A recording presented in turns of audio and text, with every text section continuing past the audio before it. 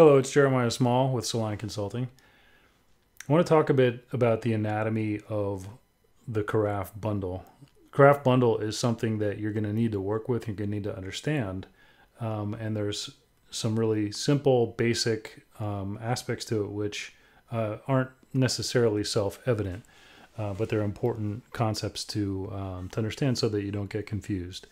Um, first, let's look at just a bundle in its most uh, basic sense. If I, for example, save a uh, uh, any given bundle to my desktop and I open it up in my code editor, um, it's kind of unwieldy. I mean, to a certain degree, it, it's it's JSON, but it really should be considered a black box for the purposes of human human usability. The, the point of the bundle as a single file is really as the carafe to contain all the pieces. It's the the, the transport container. Um, for human editing purposes, uh, we break it up into five um, separate elements that make it easier to work with. Right here in Carafe, if we click on the Details tab, just search for a simpler bundle. I have this Hello World. So between the preview image and these these four components, there are five total components that we think of when we work with a bundle's source. I mentioned five components of, of a bundle that we work with as, as humans. Four of them are represented here in this drop-down menu. Um, they are in alphabetical order and you see config, data, meta, and template.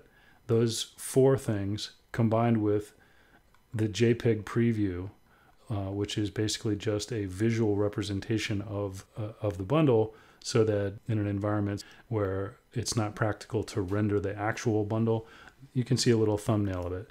If I flip over to the config uh, file, um, this actually shows the contents of the the config element of the bundle, which FileMaker is splitting out into a separate field so that we can work with it here.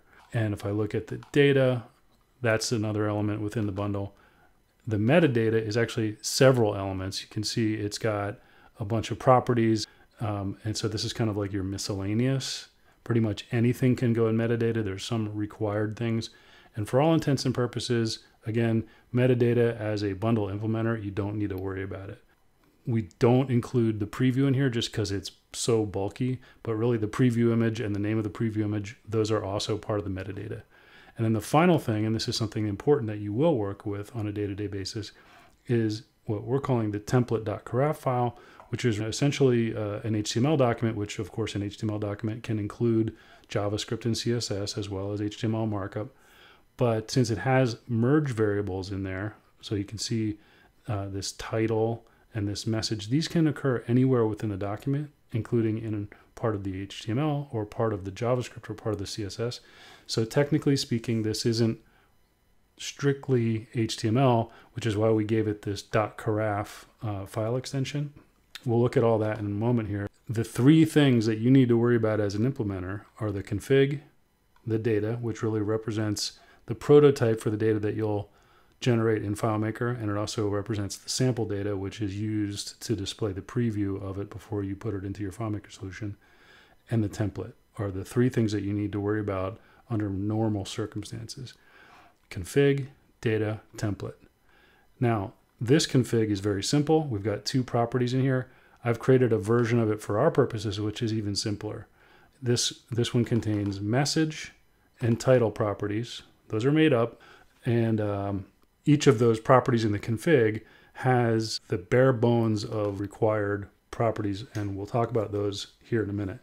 So just for comparison, there are other properties you can put into uh, the config for a given uh, merge field, but these are the bare bones, and we'll talk about those in a little more detail. Before we flip out of FileMaker, I just want to point out that, again, the configuration says we've got a message and a title. And I want to draw your attention to the template, which also has a message and a title. So the config one to one maps to the template. Each custom property that you want to have be substituted when you render the complete uh, final product. And the third one that I mentioned you have to be concerned about is the data one, which again represents the data that you will need to generate with your FileMaker scripts and pass to it at runtime. So let's take a look at this over in uh, our online editor, which is going to highlight the fact that those are the five elements that you're going to be looking at when we switch over there. Let's click on the Edit Bundle and Code Sandbox. Here in the uh, virtual file system, if you remember, meta and preview, all your miscellaneous stuff. And as an implementer, you can normally ignore those. As I mentioned, this stripped down version has the two properties, message and title, each one with an is data property inside the, the object for each configuration element. One of them is true, one of them is false. And you'll notice that message is data true also exists in the data component. So um, what this is saying is that something external needs to provide a value for message. And so in the sample data, it's simply the value that should be provided. Flipping back to the config, we see that is data is false on this one. And in fact, it's default false. So if I were to eliminate that, that would have the same effect. But um, I like having it in there for this discussion just to be explicit that it is Boolean, it is true or false. By default, it's false. And if it is false, you must provide a value. Uh, remember, we have a validator. So Carafe validates the format. If I save this file with no value, I'll get a bundle validation error. The validator kicks in and goes, wait a minute, the data path config title is missing the property value. So config title property value is missing. So I'm going to Command Z, go back and get my value back and hit Command S, save. And now when I reload the whole thing over here, it's valid again. So the, Carafe validator says, yes, all right, you're fine. Your is data false has a config value. Now, why is that? We look at over here at the template. You can see there's our title, there's our message. So those are the two properties that we've defined in our config. Let's just make a little change. Like let's change the title. We want to say hello big world for the title. Command S, we refresh it. Now the title, which is in the div here, says hello big world. Let's take it back over to FileMaker. So we take it back over here. I'm going to just force it, which is just simply going to overwrite it. So now if I if I flip over to my config tab, we can say, okay, now it says value hello big world. Now, to illustrate the point about config versus data, I'm going to go ahead and deploy this script. So I'm going to go ahead and copy the script. And now the strictly config values have been merged into the HTML already. What do I mean by that? Let me open a new, brand new file.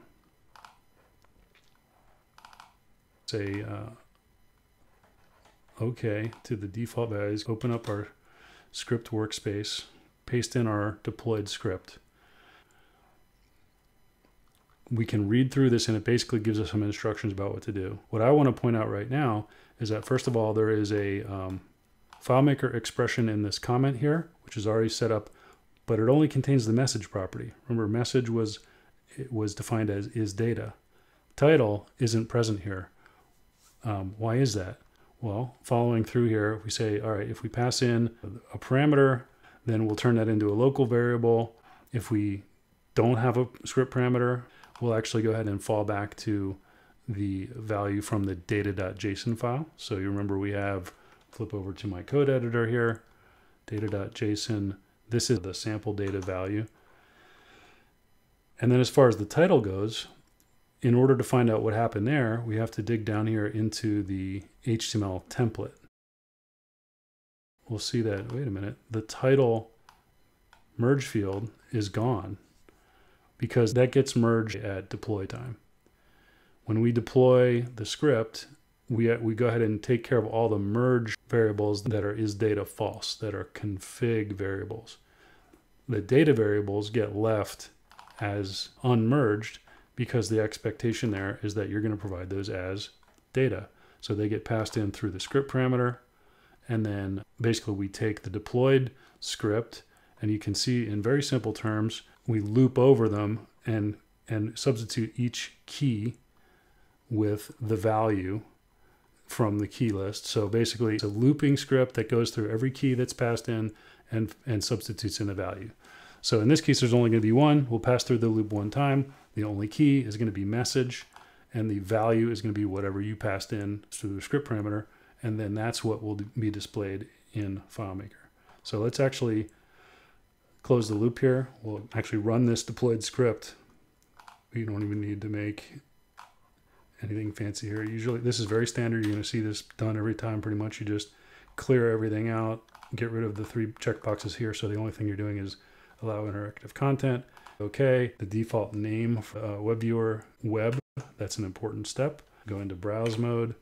Now looking back at the script, if I look at the deployed template again one more time, the purpose of illustrating what the configs are and when they get merged, um, it's really handy to be able to see that there is my merged config, there is my data merged field, which is still waiting. So when I go run the script, you can see that my merged variable gets inserted there, and then the JavaScript goes ahead and bolts it. So that's pretty much the anatomy of a bundle. I'm going to show you one more thing to kind of drive the point home. The other option for editing, go ahead and close out of our online editor, is to edit locally. Editing locally asks you to create a folder somewhere. I mean, to basically choose somewhere within your file system. So we're just going to do this, call it demo. And there's my folder on the desktop. Do open this way so that I get it uh, in a very similar looking context. So here we have SRC, which should look very, very familiar. We have uh, our template, we have our meta, and we have uh, our data and our config. If I go in there and I say medium world, save, come back over here, reload, medium world, config, hello medium world. So that workflow, you're working with your local files. If we look at it actually in the Finder, let's look at it in columns view. It's the exact same files, always the same five things, and you can pretty much always ignore those two, the meta files. You're going to be concerned with config, data, and template.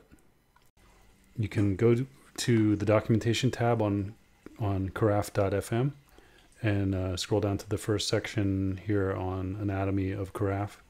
There's a link there to the documentation, um, which has a very thorough and detailed breakdown of uh, the entire bundle format. There's an example of a bundle with every possible config. There's talk about more of the advanced topics in here. Stay tuned for videos covering different techniques for editing and configuring and deploying your bundles.